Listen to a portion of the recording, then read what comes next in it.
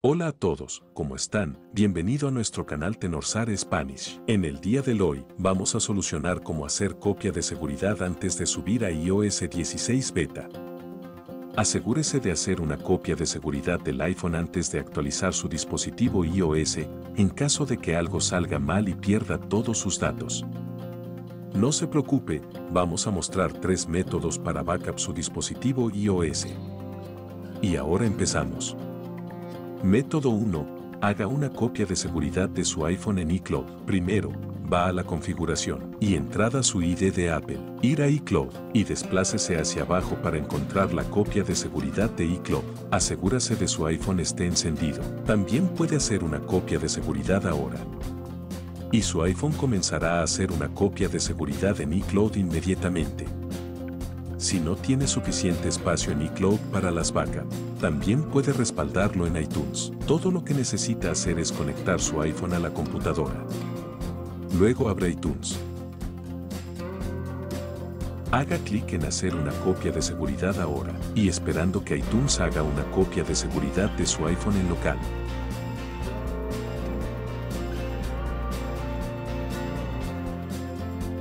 Si no funciona, todavía podemos seleccionar otra opción. Este Norsare y Carefone. Para comenzar, descargue e instale Icarefone en su computadora, luego inícielo y conecte su iPhone.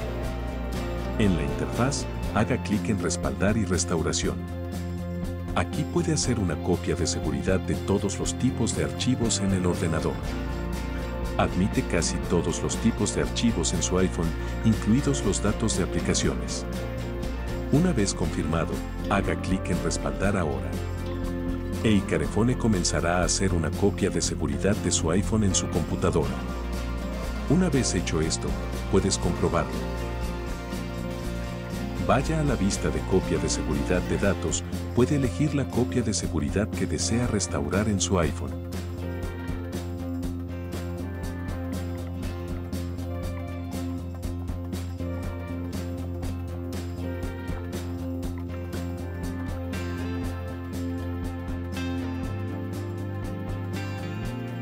Si este video te ayuda, no olvides darnos un pulgar hacia arriba. Te agradeceré si te suscribes.